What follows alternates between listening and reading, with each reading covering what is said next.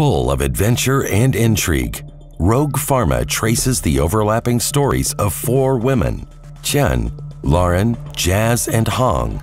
They are spread across the globe, moving between Hong Kong to Japan, Toronto, Paris, and Vancouver.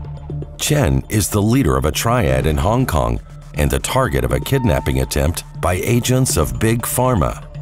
Lauren, an ex assassin, is pressed into service to rescue Qian.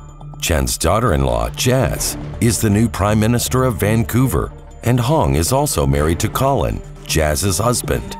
In addition to unraveling the action packed conspiracy to kidnap Qian, Rogue Pharma is also full of intertwining love stories that complicate the lives of the strong female characters.